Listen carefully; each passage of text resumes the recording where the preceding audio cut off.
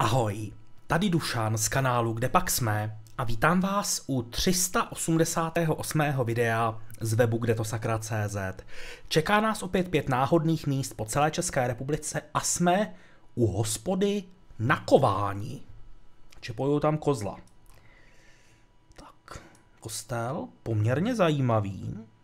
Ta věž, neohozená, neomítnutá.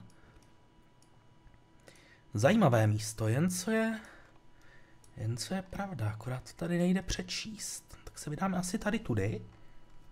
Katusice. Mám pocit, že už jsem někde slyšel, ale když už má člověk skoro 400 videí nahráno,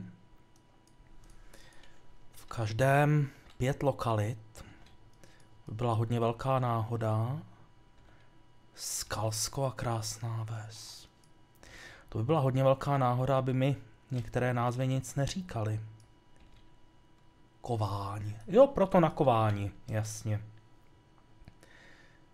Už potom ten název hospody dává smysl. Co to byl? To bude... Možná nějaká vodohospodářská stavba? Ale takhle to mě zaujalo, to vypadalo skoro jako součást nějakých hradeb. Až na ty dveře teda.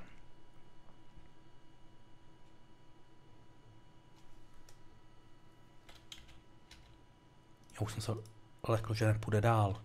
Naštěstí to jde přeskočit. Hele, hele, hele.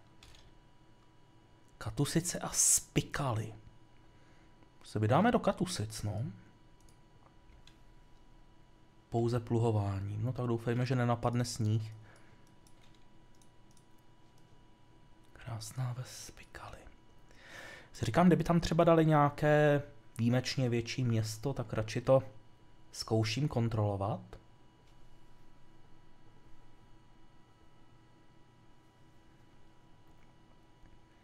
To budou asi ty katusice, co?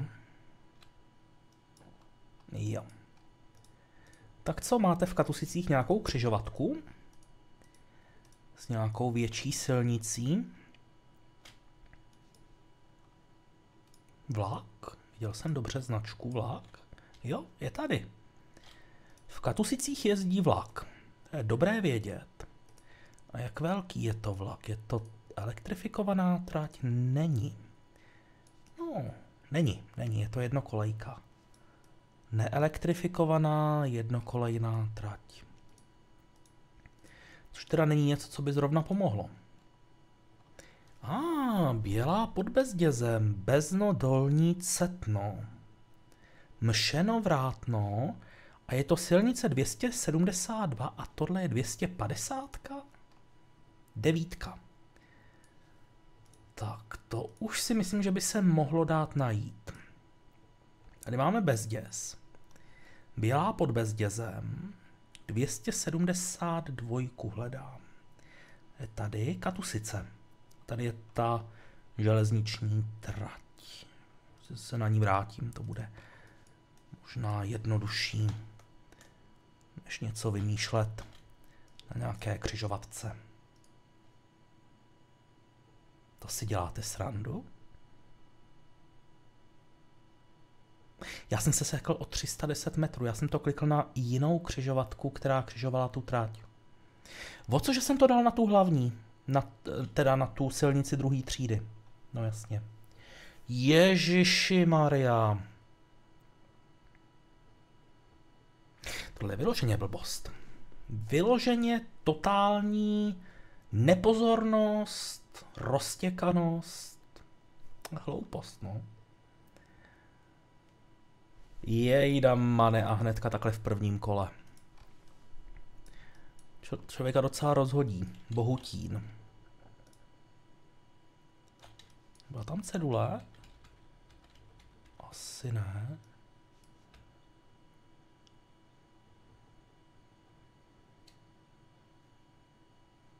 Musím si dávat větší pozor, když to zapíchávám. Já vím, že na začátku, když jsem hrál, tak mi všichni říkali, že jsem až příliš opatrný při tom rozhodování, že moc často nad tím dumám. No a vidíte, ono se to někdy vyplatí. Nespěchat a promyslet si. další kroky. Ne nadarmo se říká dvakrát měř a jednou řeš. Něco na tom bude. Tamhle se rýsuje něco trošku, trošku většího. Uvidíme, kam dojedeme. Od Bohutína. Ale tady dost cyklistů teda na můj vkus.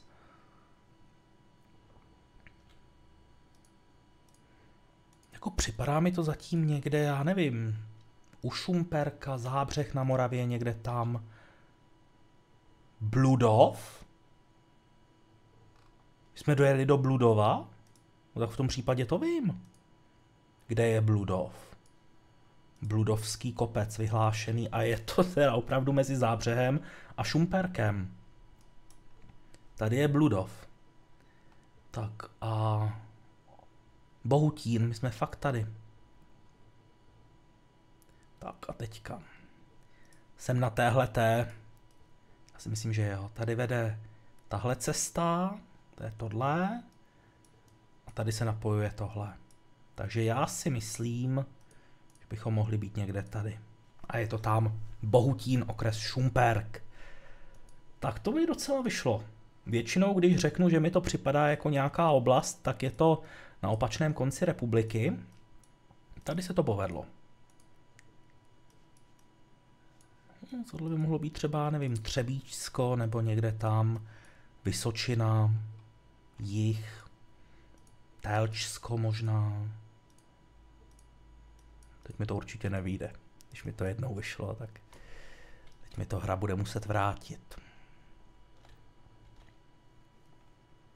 To nepřečtu. Kadolec. Ježiši Maria, ten je na Vysočině, ale já nevím kde. No tady ještě kraj Vysočina logo. Kadolec. Nové město na Moravě. Můžu se zkusit mrknout k novému městu na Moravě, jestli tam není Kadolec.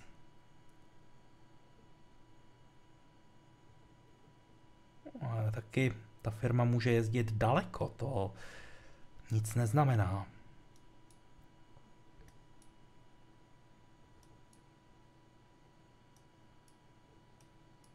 Já vím, že je Kadov, ale to mě nezajímá.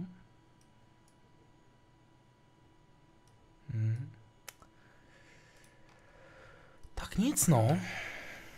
Z Kadolce se vydáme někam dál. Vysočinu jsem teda trefil, nebyla to jižní Vysočina, ale pokud jsme u Nového města na Moravě, to je okres Žďár nad Sázavou.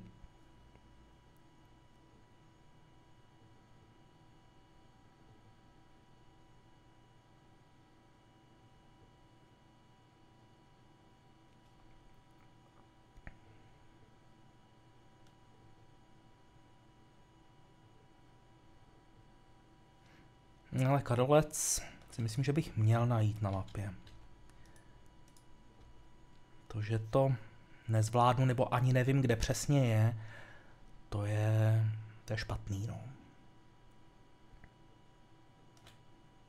Ale budeme křižovat nějakou větší silnici. Tak, dali jsme přednost a jsme v...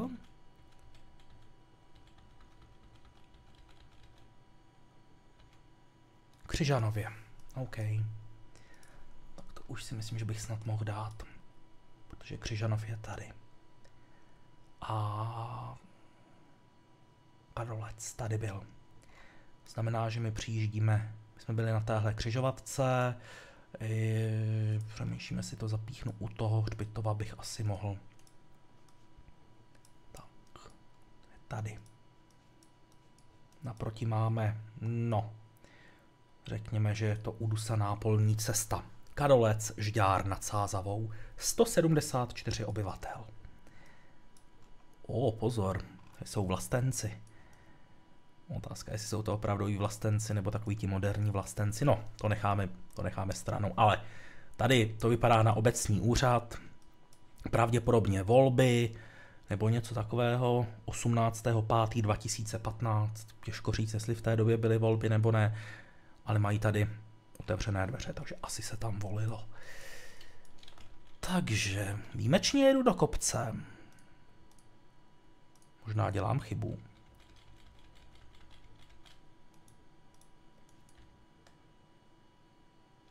A je to Kijov. Dobře, tak eh, je jasné, že to není ten Kijov, který napadne asi každého, ale nějaký jiný Kijov. Ou, ou, ou. Odbočka do Bohdalova. No, my na Vysočině máme Bohdalov. Mezi hlavou a žďárem.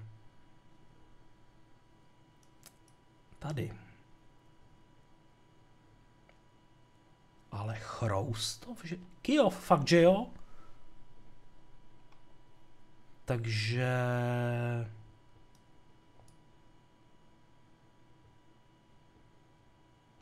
Budem tady.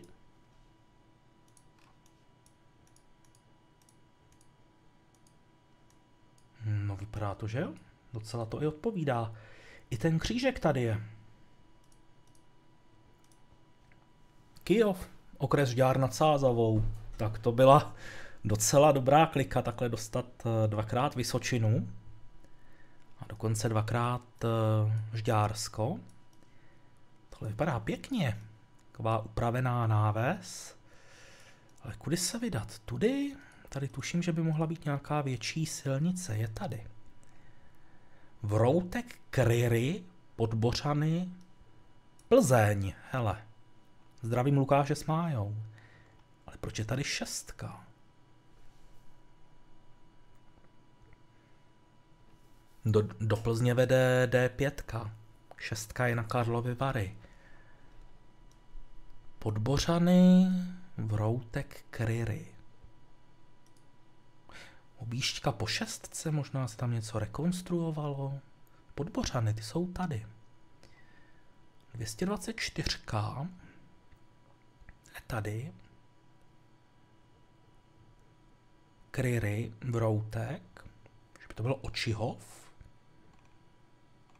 To by se dělo. Tady byla ta, ta náves. Jsme z ní teď vyjeli. Jo, to docela i sedí. Jo, Očihov, okres Louny. Výborně, zajímavá lokalita. No a máme to za sebou za nějakých necelých 13 minut. No samozřejmě to první kolo, to byl mega úlet, já nevím, na co jsem v tu chvíli myslel, ale pak se to docela srovnalo. Dvě lokality eh, z Vysočiny, ze Žďárska, takže nakonec v celku dobré. Každopádně vám moc děkuji za to, že jste se koukali. Pokud se vám video líbilo, tak budu rád, když mu dáte palec nahoru, no a pokud chcete, tak se můžete přihlásit k odběru. Systém vás pak automaticky upozorní na každé nově nahrané video. I na to zítřejší, které vyjde klasicky v 8 hodin večer. Tak se mějte hezky a zítra zase ahoj.